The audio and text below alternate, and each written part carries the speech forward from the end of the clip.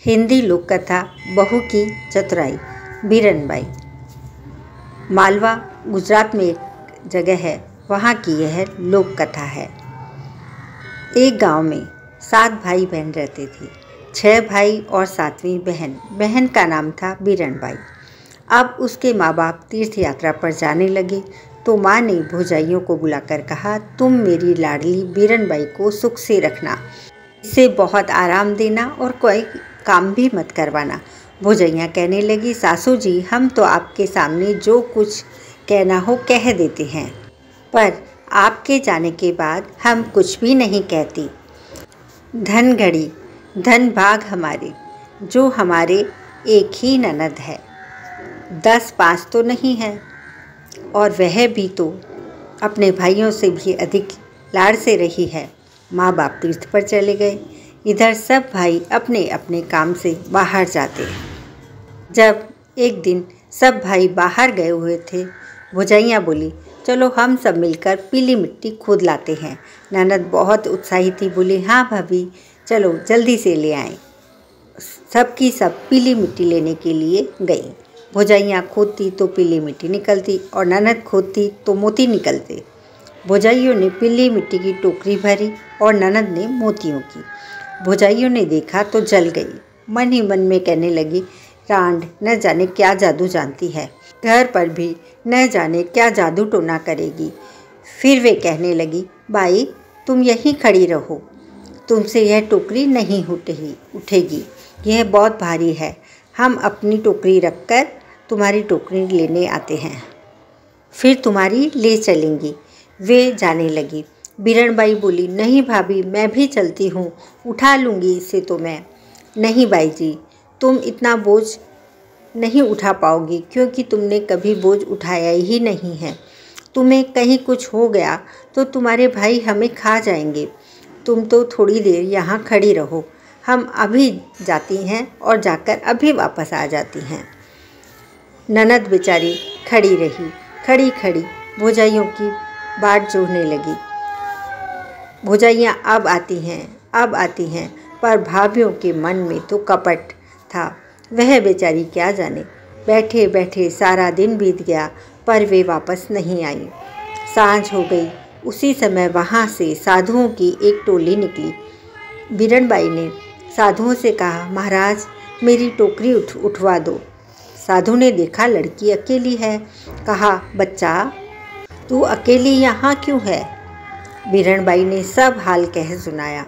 मौका देखकर साधु उसे अपनी टोली में ले गए। बीरणबाई रोने लगी, पर वहाँ उसकी कौन सुनने वाला था? वहाँ तो सब साधु ही थे। कई दिन हो गए। साधु ने उसे कहीं नहीं जाने दिया। धीरे धीरे वह उसे छोटे छोटे गाँव में भिक्षा मांगने भेजने लगा। अब वह सब घर जान गई। साधु ने उसे उस गाँव में जाने के लिए मना कर दिया था, जहाँ की वह रहने वाली थी। उसने कहा, उधर तुझे कोई पकड़ लेगा और उस गाँव में तुझे भीख भी नहीं मिलेगी। डर के मारे बेचारी उधर नहीं जाती थी। एक दिन वह साधु बीमार हो गया। बीरणबाई को कुछ याद नहीं रहा। और भूल से वह उसी गाँव की गली में चली गई, जहाँ की वह रहने वाली थी। उसकी एक भुजाई द्वार पर खड़ी थी।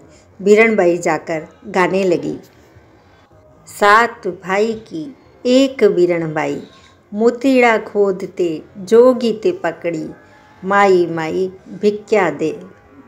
सात भाइयों की एक बीरणबाई थी। उसे मिट्टी खोदते हुए जोगी ने पकड़ लिया। हे माई भिक्षा दे।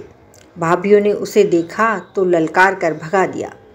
वह सब भाइयों के घर होती हुई आखिर छोटे भाई के द्वार पर पहुँची। वहाँ भी उसने यही गीत गाया। गीत सुनकर उसकी माँ उसके सामने आ गई। कहने लगी, बाई, तू क्या गीत गाती थी? एक बार फिर से तो गा। उसने फिर से गा दिया। माँ की आँखों में आंसुओं की धार बहने लगी। बिरण की आँखें भी डबडबाई। माँ सोच रही थी कि ऐसी ही मेरी बिरणबाई थी, जो सात भाइयों की एक बहन थी। वह पीली मिट्टी खोदते समय खान में दब कर मर गई, क्योंकि भोजाइयों ने उन, उसकी माँ को आकर यही बताया था कि वह खान में दब कर मर गई है। माँ कहने लगी, भाई, तू रोज़ आया कर। मैं तुझे अपनी बेटी समझकर खूब चीज़ें दिया करूँगी। खूब खाना दिया करूँगी। अब बीरन भाई को अपनी सब बात याद आ गई। उसने सारा हाल कहा तो माँ बेटी की याद ताज़ा हो गई। वह दोनों मिलकर खूब रोही इस प्रकार बीरण बाई फिर से अपने घर आ गई थी। अब माँ बाप ने उसका ब्याह करने का विचार किया। उधर जब साधु को मालूम हुआ कि बीरण भाई अपने घर चली गई है तो वह अच्छा होने पर वहाँ आया। और उस समय बीरण बाई की सगाई हो रही थी। साधु बोला, सगाई तो करो, पर चेली तो मेरी है। उसका ब्याह हुआ तो साधु आकर फिर से कहने लगा, ब्याह तो करो, पर चेली तो मेरी ही है। ब्याह हुआ और बीरनबाई अपने ससुराल जाने लगी। साधु फिर से आया और कहने लगा, लाडो तो ले जाओ, पर चेली तो मेरी है। इस तरह साधु बीरनबाई के पीछे पड़ गया। बारात घर पहुँची तो वहाँ भी साधु आकर कहने लगा, बारात तो आई, पर चेली तो मेरी है। जब इस प्रकार बोल बोल कर वह साधु हर एक जगह पर बीरणबाई को छेड़ने लगा, सगाई में, शादी में, बारात में तो बीरणबाई घबराने लगी और वह घबराई। उसने कहा ओ प्रीतम, ओ साहस, मुझे सात ताले में बंद करो। नहीं तो यह साधु मुझे पकड़कर ले जाएगा। बीरणबाई को ससुराल वालों ने सात तालों में बंद कर दिया और एक बंद करके एक संदूक में सुला दिया।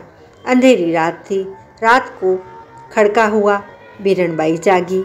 उसने कहा, पहला ताला टूटा सास जी जागो। दूसरा ताला टूटा। ससुर जी जागो। तीसरा ताला टूटा।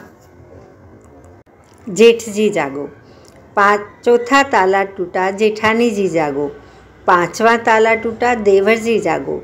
छठा ताला टूटा। देवरानी जी जागो। सातवां ताला टूटा। प्रियतम जी जागो। इस तरह बीरनबाई ने सभी को एक एक करके जगा दिया। और उसी समय साधु वहाँ से चला गया और बीरनबाई बच गई। और अब वह ससुराल में बहुत आराम से राज़ी खुशी रहने लगी। वह अपनी माँ के पास भी आती, लेकिन जो भाभीियों ने उसके साथ किया, वह वह भूल नहीं पाई। आशा करती हूँ आपको यह लोक कथा पसंद आई होगी।